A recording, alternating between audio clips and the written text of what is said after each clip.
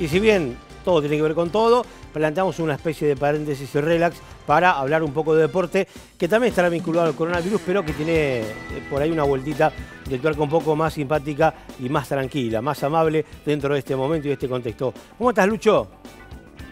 ¿Qué tal?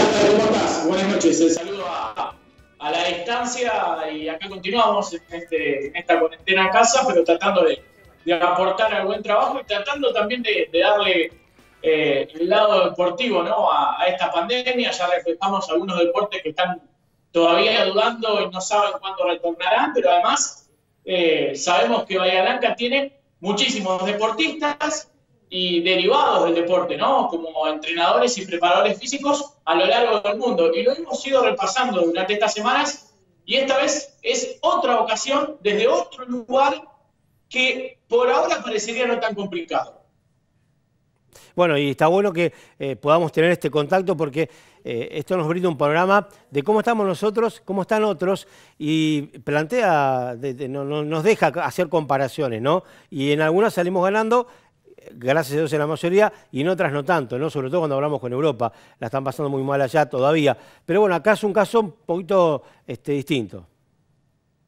Estamos hablando de Venezuela, donde se encuentra el preparador físico Cristian Lambrecht, el ruso Lambrecht, conocido en el mundo del básquet local, fue preparador físico muchos años de Bahía Básquet y después, eh, ya hace un tiempo, se ha ido a Venezuela, donde con Fernando Duro como entrenador forma parte del cuerpo técnico de la selección de ese país que iba a tener este año el repechaje en Lituania para ver si podía ir a los Juegos Olímpicos, pero que se ha postergado un año. Bueno, Venezuela, según datos oficiales del régimen chavista y del gobierno de Maduro. Digo esto porque para contextualizarlo, pero no tendría, según estos datos oficiales, más de 200 casos confirmados. Dos. Bueno, habrá que aguardar y ver si es tan real. Por lo que nos dice Lambrecht, no estaría muy alejado de la realidad sus números porque la situación es totalmente diferente. Esto decía el hombre de la ciudad, preparador físico Cristian Ambrich. Estoy en Caracas desde hace dos meses exactamente. Nos quedamos acá junto a un grupo de argentinos, que es el staff de la selección mayor de, Venezuela, em, para llevar adelante un, programa para la Federación Venezolana de Baloncesto. Esto se dio inicio luego de haber finalizado la, última ventana con Argentina, casualmente, acá en Caracas. Y mm, desde un principio se tomaron medidas estrictas con respecto a seguridad y a, medidas de higiene, una semana incluso antes de que se declare la cuarentena en, Argentina.